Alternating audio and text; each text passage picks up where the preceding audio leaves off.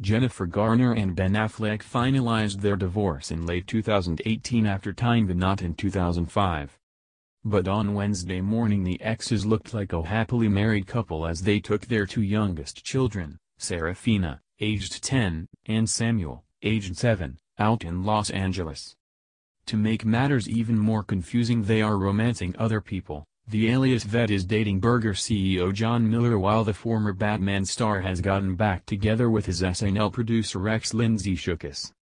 The two were seen in a residential neighborhood in Los Angeles early in the morning. Garner held onto a gift with a light blue ribbon as she wore a black jacket over a black top and leggings. The star, no doubt on her way to the gym, also had on blue and gray sneakers with light green laces. The peppermint actress wore hair was up and she appeared to have no makeup on.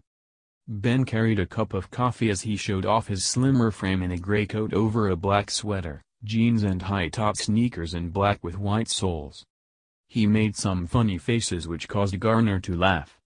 They were also seen by two of their three kids as eldest child Violet, aged 13, was not present.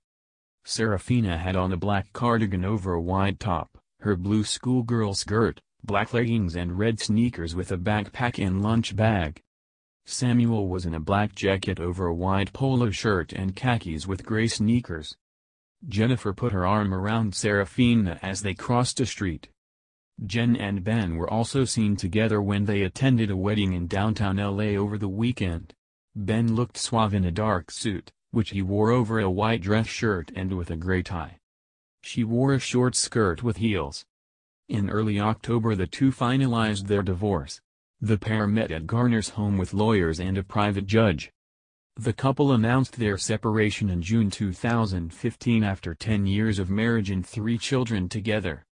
Affleck and Garner began dating in 2004 and married in June 2005 before simultaneously filing for divorce in April 2017.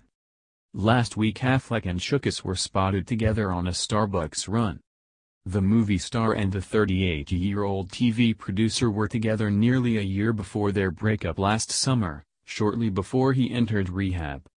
Lindsay was spotted holding two cups of what looked like iced coffee or tea before clambering into a Bentley with Ben, who was in the driver's seat. Both of them appeared to be in cheerful moods, Lindsay grinned as she headed to the car, and Ben could be seen beaming as he chatted on the phone inside. Ben, who has been to rehab multiple times, recently underwent another stint there reportedly at the urging of Garner.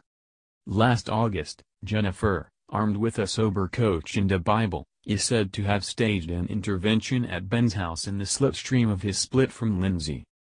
Affleck has done a good job at staying sober ever since and looks healthier than ever.